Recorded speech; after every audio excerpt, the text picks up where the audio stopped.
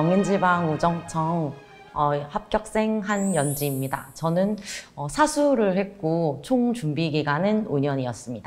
사수했다고 말씀해 주셨는데 다 아깝게 떨어지시고 이번에 필기 고득점 하셨어요. 네, 제가 2018년에 부터 이제 준비를 시작해서 이제 두 문제, 두 문제, 한 문제 차이로 필기를 탈락하고 이번에 85점으로 고득점해서 합격했습니다. 그리고 이제 유상통을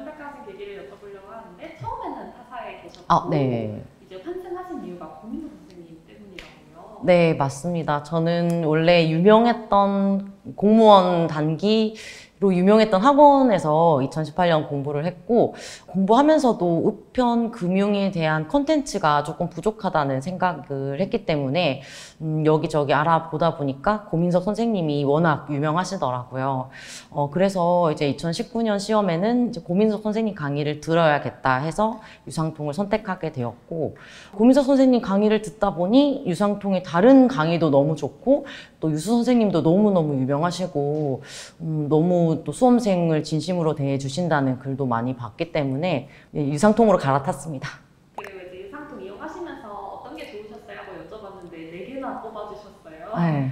실전 모의고사, 라이브 특강, 면접 특강, with 유수 뽑아주셨는데. 어, 일단 실전 모의고사는 정말 선생님께서 라이브로 정말 시험장에서 시험 치는 것 같이 어, 대비를 할 수 있었고 라이브 특강도 그동안 제가 컴퓨터 일반에 대한 공부를 이제 꾸준히 해왔음에도 그래도 조금 부족한 부분도 있고 어떤 문제가 나올지 예상하기도 조금 어려웠기 때문에 막판에 라이브 특강으로 컴일 범위를 확 줄여주시고 나올 법한 문제를 다 찍어 주셨기 때문에 정말 공부하기에 정말 좋았던 것 같습니다. 아, 네. with 유수는 제가 제일 좋아했어요. new 표시가 나면 항상 먼저 클릭해서 보고 그랬는데 항상 선생님께서 좋은 말씀 해주시고 응원해 주시고 그랬기 때문에 공부하면서 정말 위안이 많이 되었던 것 같습니다. don't worry 패스 좀 여쭤보려고 하는데요. 네. 이름 그대로 don't worry다. 아, 네. don't worry 패스는 진짜 이름대로 don't worry라고 생각합니다. 항상 뭐 with 유수로 선생님께서 저희들 이제 멘탈 관리도 해주시고 강의도 무제한으로 들을 수 있기 때문에 또 나아가서는 면접 강의까지 제공해 주시기 때문에 don't worry 패스만 수강하시면 다 잘 하실 수 있을 것 같다고 생각합니다. 과목별로 어떻게 공부했는지 여쭤보려고 해요. 첫 번째는 컴퓨터 일반인데 처음에 선택하신 이유가 이렇게 PPT가 깔끔해서 좋으셨다고. 네, 맞습니다. 선생님께서 PPT로 이제 눈으로 보여주시면서 강의를 하시기 때문에 조금 더 기억에 오래 남았고 또 선생님께서 중요한 부분은 두 번, 세 번씩 이렇게 한 번씩 더 설명을 해주셨기 때문에 기억에 더 오래 어, 남았습니다. 사실 컴일이 외울 부분이 뭐 정해져 있다고 생각하는데 그때도 선생님께서 반복해 주시고 음, 또 암기법도 알려주시기 때문에 컴퓨터 일반은 크게 뭐 외우거나 그렇진 않았던 것 같습니다.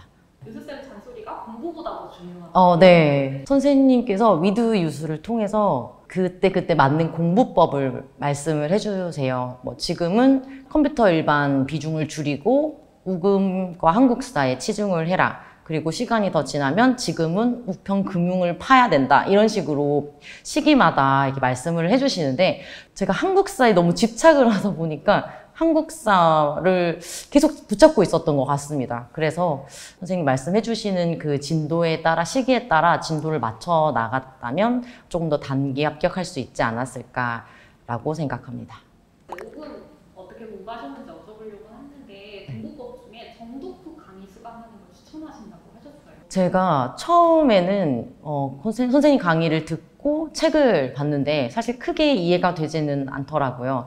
그래서 제가 어느 순간 이제 새 자료가 나오면서 선생님의 새 강의를 딱 다시 들으니까 아, 이게 이런 설명을 이렇게 하시는구나, 이렇게까지 설명을 잘 해주실 수 있구나, 라는 생각이 들었고, 정말 기억에도 오래 남았기 때문에, 음, 어차피 우금은 처음 보면 무슨 말인지 모릅니다. 그렇기 때문에 어차피 모르니까 한, 한 번, 한두 번 정독을 한 다음에 강의를 들으면, 어, 조금 더 오래 남을 수 있고, 선생님 강의가 정말 얼마나 좋은지에 대해서 느낄 수 있을 거라고 생각합니다.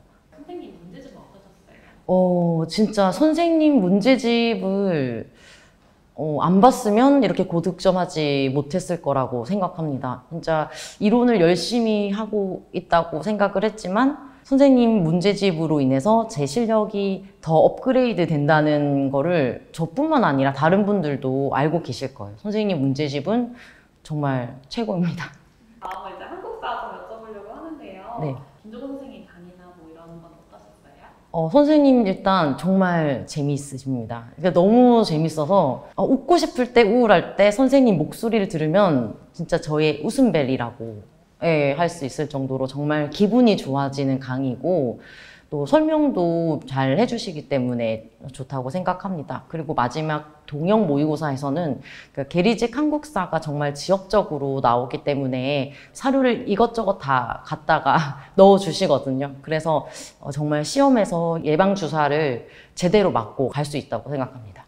네, 수험생활 어떻게 하셨는지 좀 여쭤보려고 하는데요. 그냥 매일매일 공부할 때마다 항상 10시간 이상씩 지키려고 노력했습니다. 그리고 어, 그냥 공부만 하면 체력이 급격하게 떨어지기 때문에 하루에 2시간씩 산책을 꼭 했습니다. 어느 정도 이제 공부를 하다 보면 어, 느낌이 오더라고요. 제가 장수생이다 보니까 이 정도 되면 더 공부에 안 좋겠다라는 생각이 들면 그날은 그냥 바로 잠들고 일단 잠이 가장 중요한 것 같습니다. 항상 자기 전에 핸드폰 보는 습관 절대 하, 하면 안 될 것 같습니다.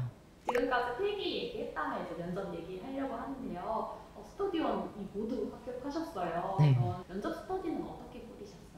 어, 면접 스터디는 어, 한 분은 원래 이제 우금 스터디 같이 하시던 분이랑 단톡방을 만들어 주셔서 거기서 제가 두 분을 납치를 했습니다. 잘 납치한 것 같아요. 어제도 만나고 왔는데 어, 지금까지도 연락 잘 하고 수다도 잘 떨고 잘 지내고 있습니다. 스터디 어떻게 데뷔하셨는지 좀 말씀. 다들 집이 조금 머셔서 매일 만나기 어려웠기 때문에 일주일에 두 번은 오프라인에서 만나기로 하고 또 나머지는 아쉬우니까 음, 웨일을 통해서 만났습니다. 그런데 웨일로 하다 보니까 발표하는데 한계가 있더라고요. 오프라인에서 만나서 하는 그런 것보다 한계가 있어서 그때는 그냥 경험 질문 간단간단하게 하고 서로 피드백을 주고 아, 오프라인에서 만나서는 사조서를 작성해보고 발표하고 사조서에 대해서 피드백을 하고 네, 이런 식으로 진행했습니다. 그 다음에 저희 오프라인 면접 특강이 노란진에서 있었는데 네. 어, 임찬수 원장님 특강이 되게 감을 잡는 데 도움이 됐었다고 네.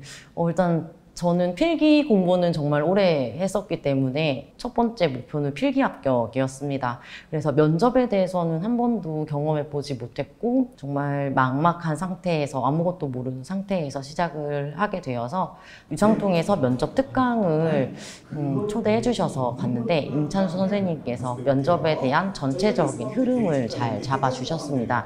어떻게 하면 말을 더 잘할 수 있는지 뭐 갑자기 생각이 안 날 때 이렇게 해라 자세는 이렇게 해라 이렇게 다 구체적으로 말씀을 해주셨기 때문에 큰 도움이 되었습니다. 면접 때 오인영 선생님한테 네. 코칭 받으셨는데 네. 어떠셨는지 어, 네. 오인혁 선생님께서 처음에는 조금 날카로우신 느낌 이 들었습니다. 전문 면접관님이시다 보니까 왠지 그 눈빛이 저를 꿰뚫어 볼 듯한 이런 무서움이 좀 있었는데, 어, 그래도 모의 면접을 하면서 질문을 거의 퍼붓다시피 이렇게 해주셨기 때문에 실제 면접에서는 어, 정말 많은 도움이 되었던 것 같습니다. 그리고 마지막에 전체 조가 다 발표한 다음에 첫 번째로 하셨던 말씀이 아, 이 조는 미흡 받을 사람이 없다라고 말씀을 해주셨습니다. 그래서 그 말씀을 믿고 자신감을 가지고 면접에 임했기 때문에 다들 좋은 성과가 있었지 않나라고 생각합니다. 실제 면접 후기를 좀 여쭤보려고 해요. 네. 다 이상도 사람들 같아서 손잡고 하셨다는 이런 에피소드도 말씀. 어, 네. 어, 면접 때 다들 긴장을 많이 하셨더라고요. 그런데 저는 음, 어차피 여기 앉아 계신 분들 대부분 유상통 가족 분들이시기 때문에 뭐 경계하거나 뭐 좀 어렵거나 이런 생각이 조금 안 들었고 다들 친밀한 내적 친밀감을 가지고 있었던 것 같습니다. 이제 지나가는 분들한테 말도 걸고 같은 차례에 계시던 분들이랑도 저 너무 떨린다고 손잡아달라고 그러고 그리고 실제로도 저랑 손을 잡으셨던 분들 모두 합격을 하셔서 네 그래서 이제 나중에 천안에 가서 꼭 얼굴을 뵈었으면 좋겠습니다. 가수 생이시니까 어쨌든 세 번 다시 일어나신 거잖아요. 네. 지금도 그런 과정을 겪고 계신 분들이 있을 텐데 네. 어떻게 일어나야 될까요? 음, 시험을 칠 때 컨디션과 나의 마음가짐이 정말 중요하다고 생각합니다. 충분히 할 수 있는 마음가짐을 먼저 가지는 게 가장 중요하다고 생각합니다. 그리고 계리직은 제가 생각했을 땐 어느 시험보다도 운이 정말 중요하기 때문에 이번에는 운이 없으셨을 수도 있고 또 내년에는 다들 뭐 수석으로 합격하실 수도 있는 거기 때문에 다음 시험에는 용기 내서 다시 도전하셨으면 좋겠습니다. 저희가 아무래도 수험생분들이 연령대가 높잖아요. 네. 뭐 그렇게 나이가 많지만 대리직 수험을 준비하시는 분들에게도 한마디 해주실 수? 어, 저 유상통 카페에 보면 40대 분들이 제가 나이가 너무 많은데 도전해도 될까요? 라는 글이 심심치 않게 올라오고 있습니다. 그럴 때마다 저는 댓글에 40대 분들 많으니까 기죽지 마세요라고 항상 댓글을 달긴 하는데 그리고 이번에 합격하신 분들도 40대 분들도 정말 많으시고 또 합격생도 30대, 40대가 거의 대부분을 차지하기 때문에 나이 때문에 기죽지 않고 용기 내서 시, 시작하셨으면 좋겠습니다. 사실 다 힘들긴 했는데 사실 합격 최종 합격하고 다 까먹은 것 같아요. 어, 네 그만큼 너무 좋습니다.